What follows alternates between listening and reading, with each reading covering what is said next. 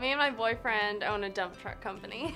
He drives the truck all the time. I hop in it occasionally. I do a lot of small deliveries, so that is kind of cool with the homes too, bringing gravel and soil for getting homes ready as well. But yeah, it's kind of weird to say we have a dump truck company also, but.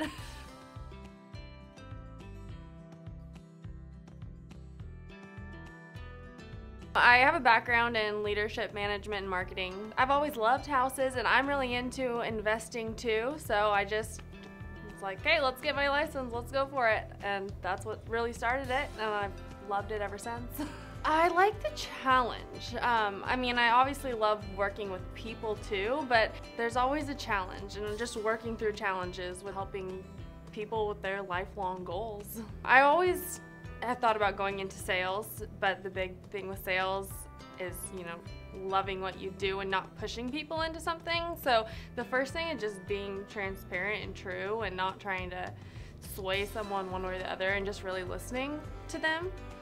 Um, leading into the next thing, listening. That's that's huge. Um, and then just we're gonna work at whatever they need and do whatever they. It's all about them. Having a background in leadership management that helps me just work with clients and having them ask me any questions, what we need to do next, just working on steps and walking through the whole process. That's a huge part of what I'm, what I like doing.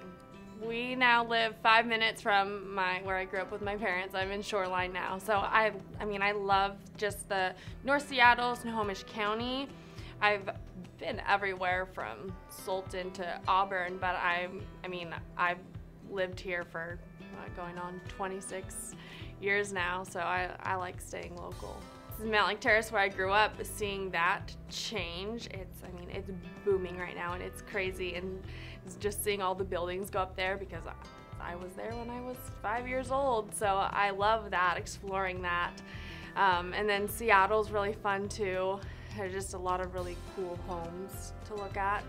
And up north, Snohomish, I love the acreage. I, I love a barn house. so, I mean, all there's different things in different areas that I love. Well, I do a lot of listings. So I've, I've sold a lot of for sale by owner homes. Um, and that's where I started. I didn't have a lot of friends and family who were buying or selling real estate, so where I started was cold calling off of Zillow, and I mean, everyone hates cold callers, but I, it, it's actually worked out really well, and I've made a lot of really good connections from it, and that's kind of where I come into the transparency. I've just talking to these people who have had a bad experience with realtors in the past, and don't trust them. And I'm like, hey, just meet with me one time. And we've, I mean, I have people that I still talk to who never wanted to use a realtor. And so that was kind of my big thing is making these relationships with people who didn't want to use realtors. I'm Amanda Schnee with John L. Scott Real Estate.